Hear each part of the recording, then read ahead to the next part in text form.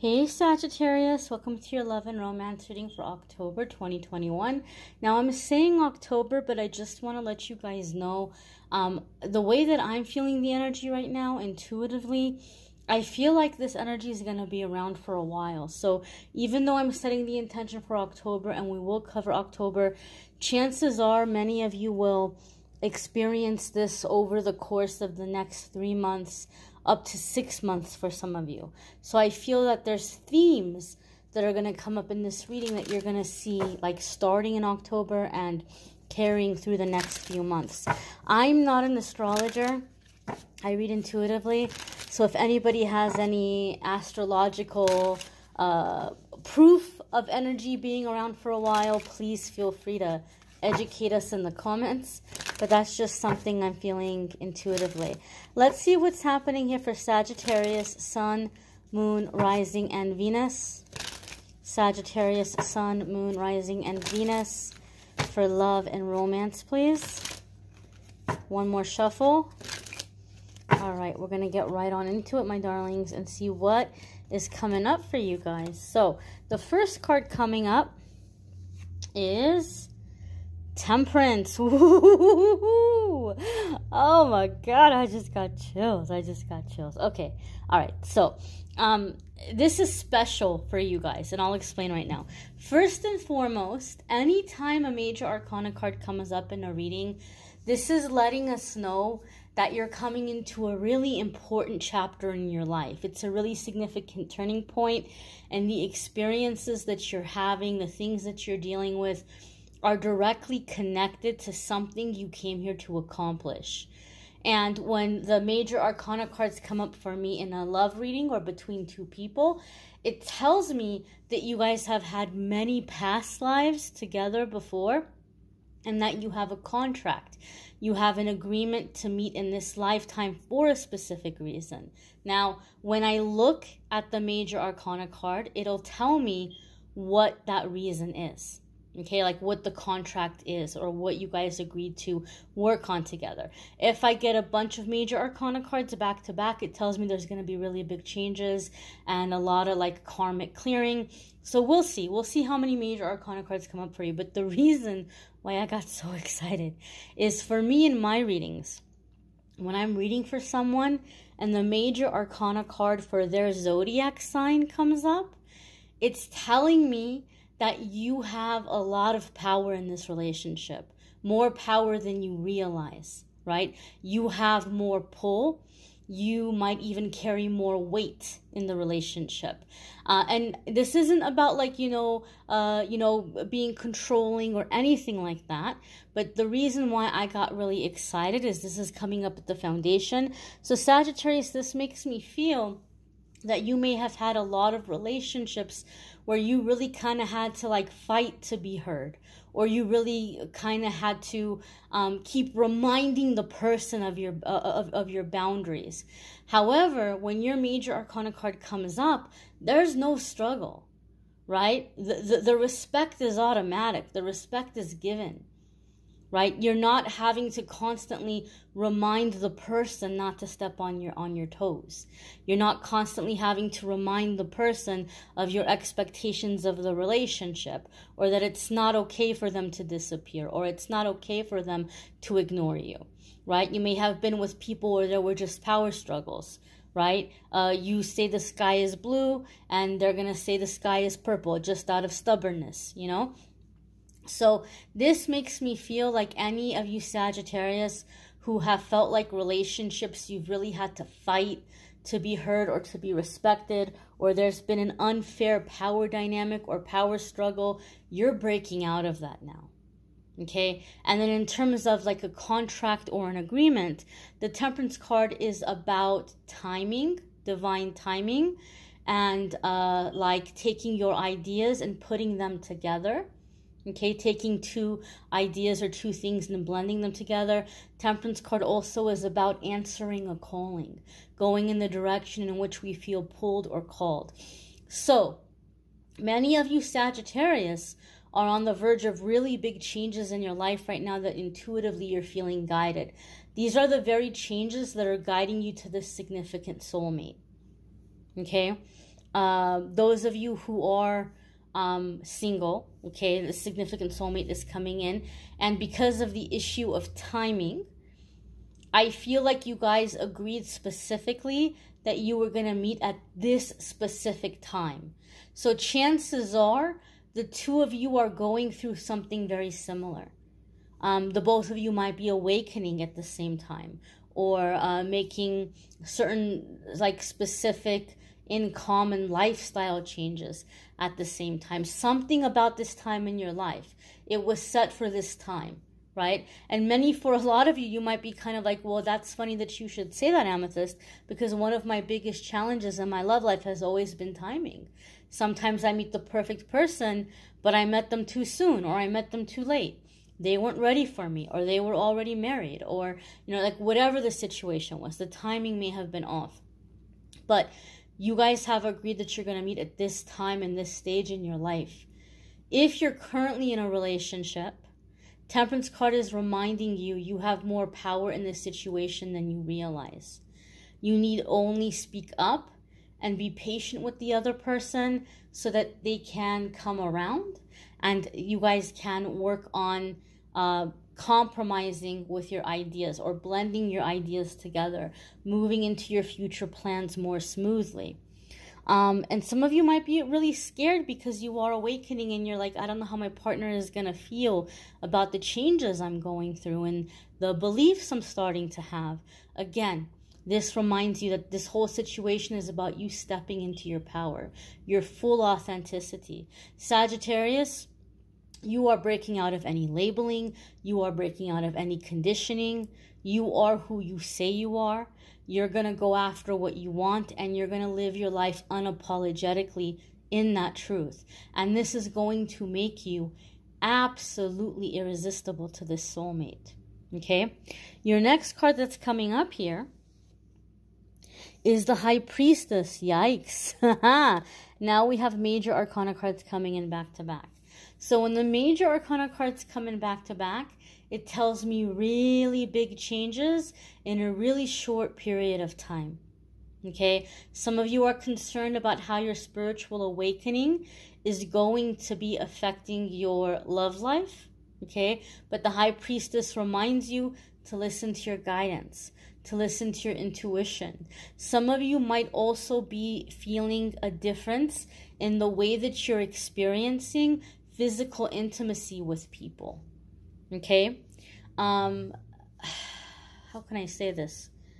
Uh, the, I'm trying to think of the, the, the quickest way to explain this.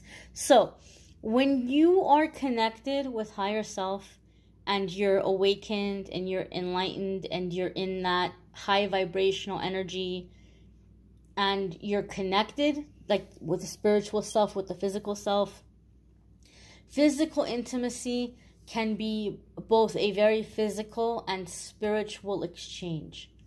The energy can be very intense. And so um, sometimes, depending on how strong your intuition is or what stage you are in your spiritual development, you might find it very beneficial to be very selective about who you're laying down with. Okay? Um, because those energies, some energies can be really parasitic. They, they, they attach to us. They feed off of us. Um, they court us. They're sending us all their drama, all of their fears, all of the things they're too scared to deal with. So, uh, grounding yourself, cord cutting, these are going to be really important things for those of you who are choosing to be um, intimate with someone who's not doing their spiritual and emotional work or who are choosing to uh, just kind of like, you know, uh, have multiple partners. I'm not going to tell you how you should live your life.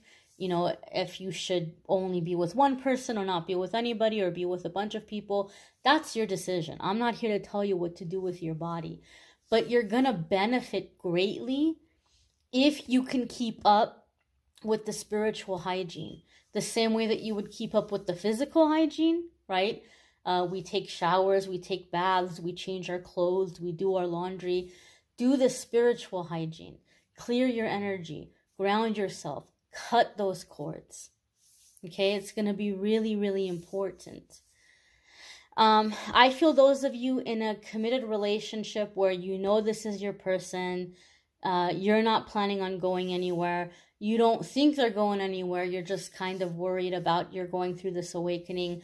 There might be a little bit of turbulence for those of you who are wanting to do something in terms of like a spiritually based business.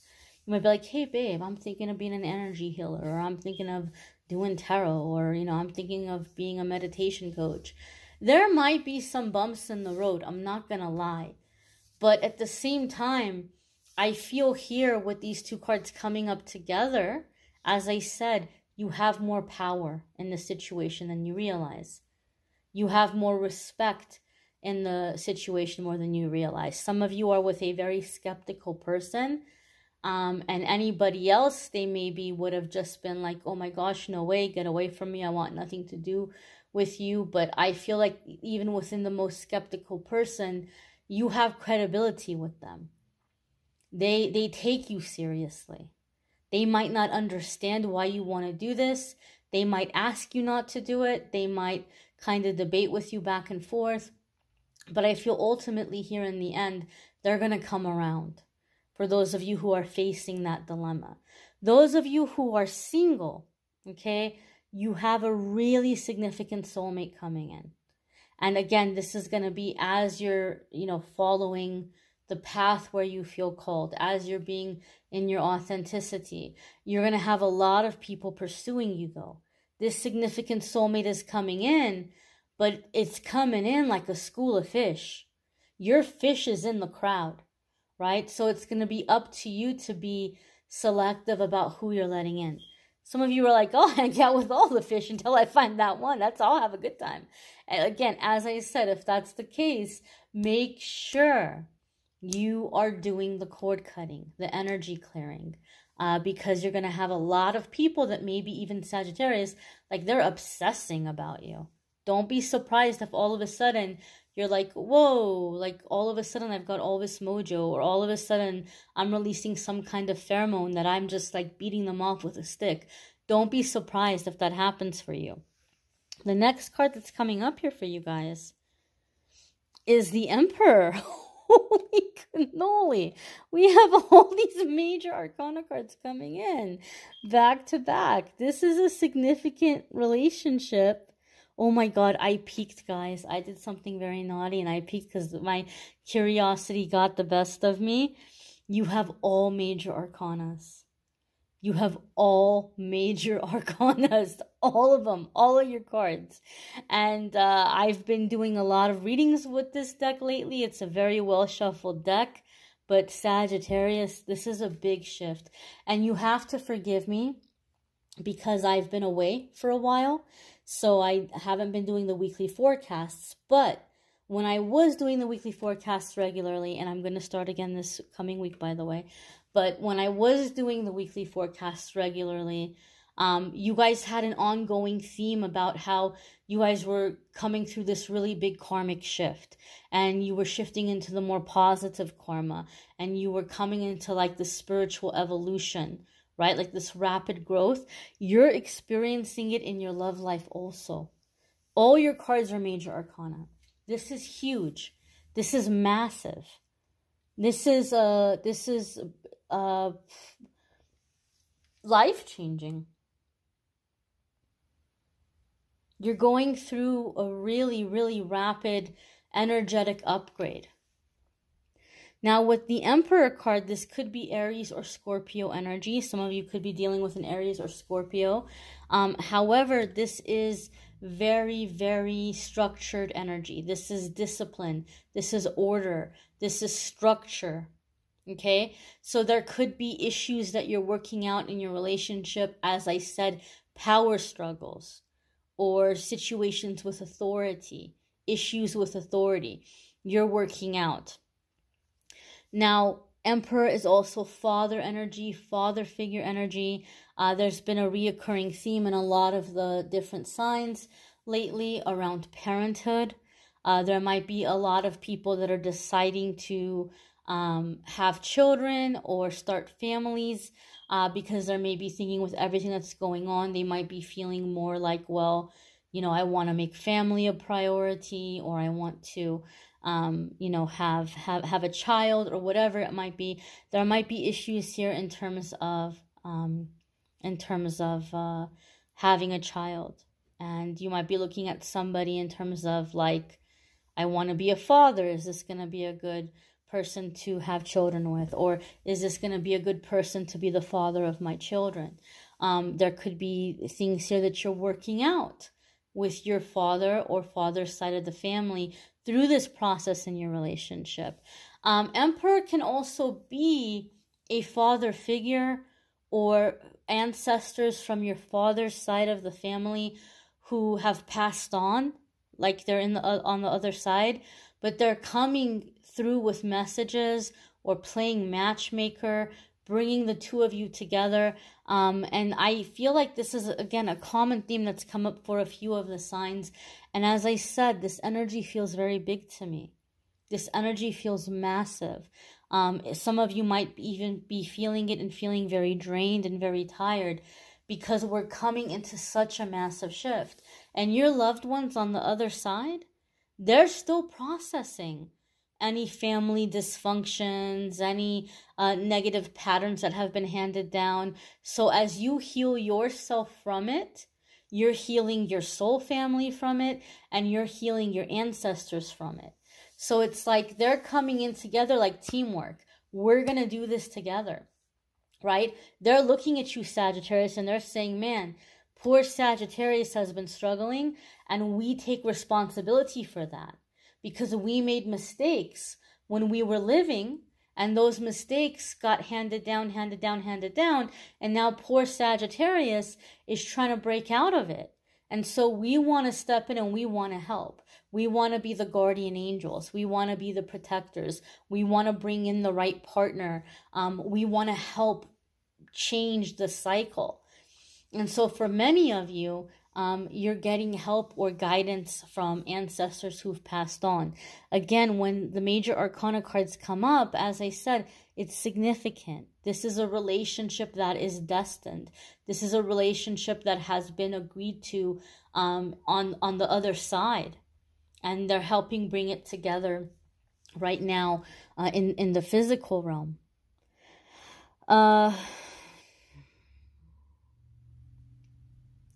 I also feel here that the person that's coming in or the person that you're dealing with is highly, highly psychic. They're very psychic. I feel this this is somebody with uh, a very, very like they, they have the they're very psychic, but they have potential of reaching a really, really high level of um clairvoyance, okay? Um, I'm clairaudient. I receive messages through sound, through hearing, through words, through conversation. Clairvoyance is somebody who uh, can see like a fly on the wall, or somebody who is uh, who's able like to have visions, right? Um, there's a whole thing called remote viewing. Some of you may have heard about remote viewing. Remote viewing is basically clairvoyance. This is someone who has that ability. Okay. Um, they might not have completely and totally reached the full potential of it yet. Uh, but I feel like this is someone who is wanting to. And I feel like your spiritual gifts and abilities are really kind of coming to the surface here and they're really starting to open up. Their third eye is like blasting open right now. So it makes sense to me that you guys have this agreement that you're going to meet in this lifetime at this particular time. I feel like you guys are coming together um, not just for the relationship, but for like spiritual work whether it's to work together as a spiritual team and some spiritually based business, or if it's just to encourage one another to embrace this path and then do whatever you want to do with it uh, individually, independently. right? But you're encouraging each other through the path. One of the strongest and best ways to increase your uh, psychic gifts and abilities and your intuition and your healing ability is to heal yourself. And so I feel like the two of you are coming in and you're healing each other. You're healing each other by being the healthy relationship and by balancing the power dynamic, right? Because you might be like, man, I wish I had somebody that I could depend on. I wish I had somebody who could be the rock. I wish I had somebody that I could lean on. But then the other side of that is, well, if I do that, then I'm giving up my power and then they're to uh, abuse their power over me. And then they're to be this person who is, um, you know, like, you know, controlling everything. And there's that fear. But in this dynamic with this person, you're learning that balance and you're you're being able to have you know somebody come in and exercise leadership in a healthy way and you may even take turns. You may even take turns in terms of like who's driving so to speak. But you don't have to handle everything by yourself. You don't have to do everything on your own. This is something that's happening with this relationship. Um but I'm getting I'm it's so interesting because I'm doing a love reading, but I'm just getting so much around uh, spiritual awakening and psychic gifts and spiritual gifts and abilities and talents. Um, I don't know. I just feel like you guys are coming together and and doing really big things. Really big things. You might be coming together uh, and forming uh, certain healing centers or uh, nonprofit organizations or uh, you might be doing things like uh, podcasts, spiritual podcasts, or, or just like, like teaching or workshops. Uh, but I just feel like it just feels to me like a dynamic here of a, a, a couple that is involved in a, in a lot of spiritual work a lot of spiritual work and and two very highly gifted people spiritually. You're gifted too. You know i i, I kind of really talked up this other person about like how like how extremely uh, clairvoyant they are but you're talented too. You're gifted too. Right? It feels to me like these two powerhouses coming together. Now your next major arcana card is the lovers.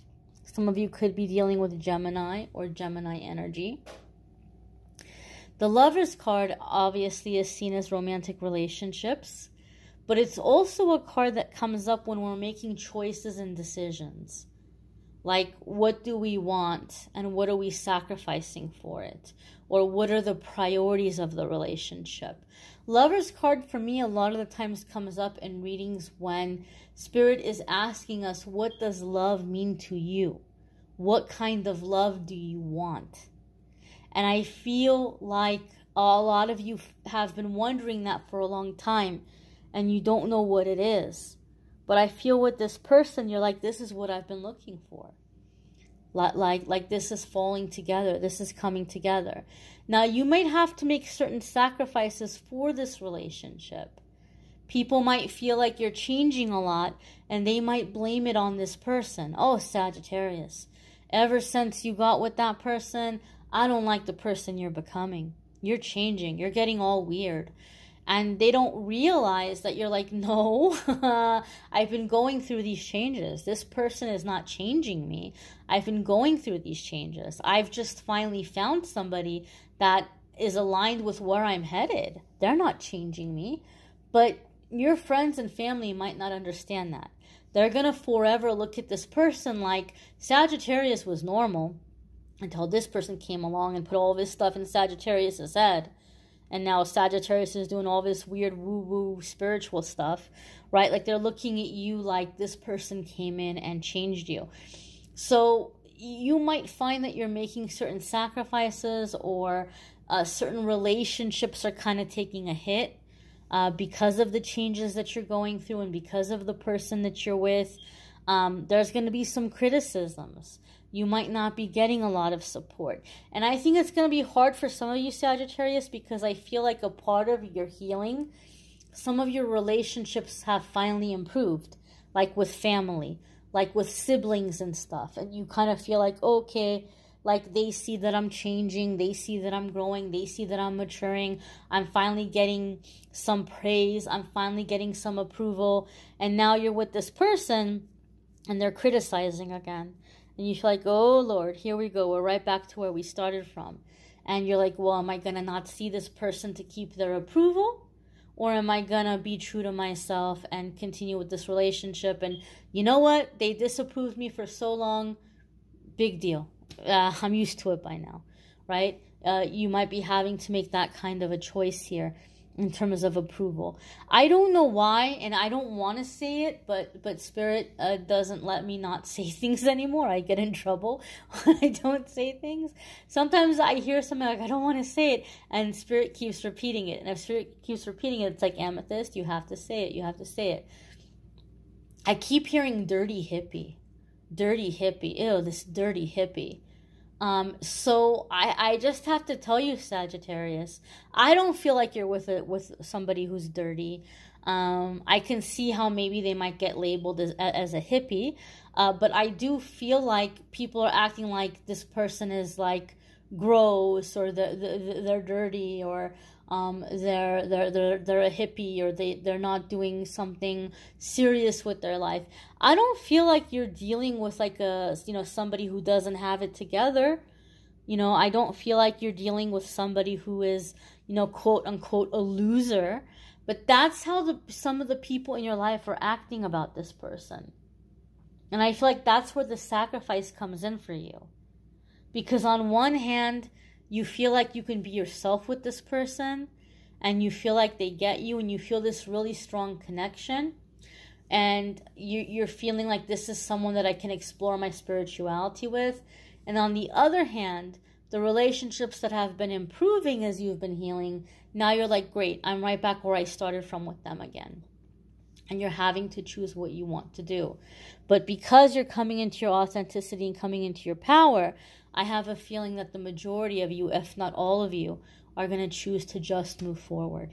Like, this is who I am, this is my life. I love this person, they love me, they're good to me, they make me happy. And you're like, you know, you don't have to accept it if you don't want to, you know, but but this is how it's going to be.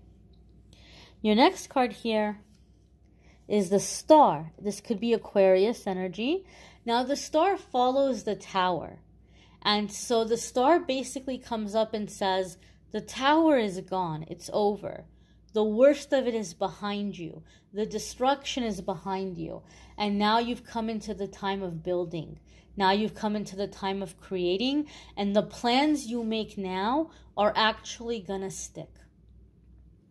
Uh, so I feel like with this person, you're making really long term plans. Like you guys are talking about retirement.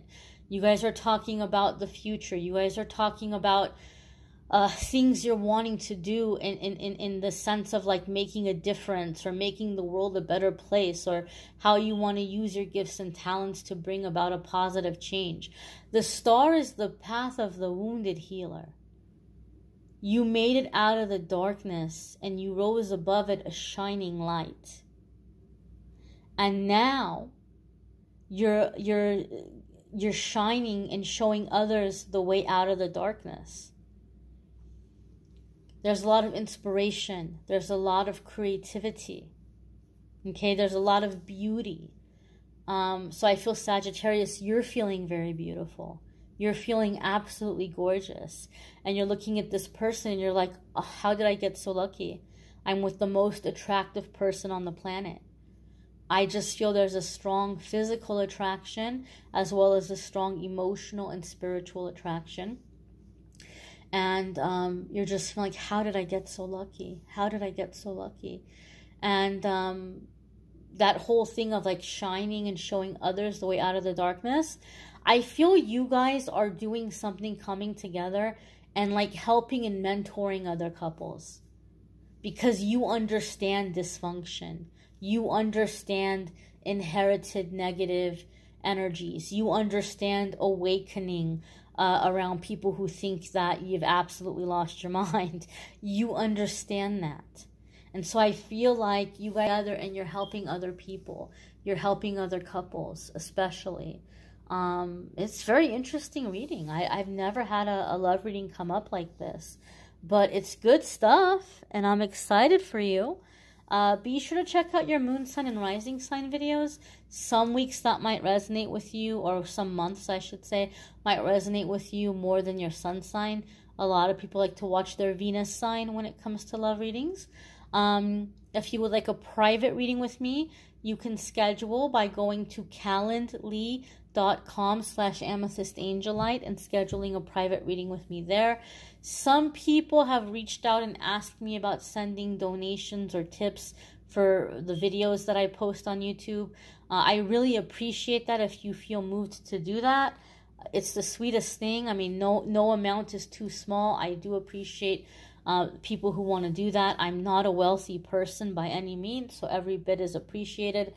If you want to do that, you can just go to paypal.com um, or the PayPal app on your phone and send it to my email address, which is amethystangellight at gmail.com. Uh, don't forget to check out the weekly forecasts. Those are returning. They're going to be coming up here again. And I thank you all for watching, liking, sharing, commenting, subscribing. Have a wonderful October, my dears. Hopefully, I'll see you all in the weekly forecasts as well in the comments, at least, because I can't see you through the screen. All right, my dears, take care.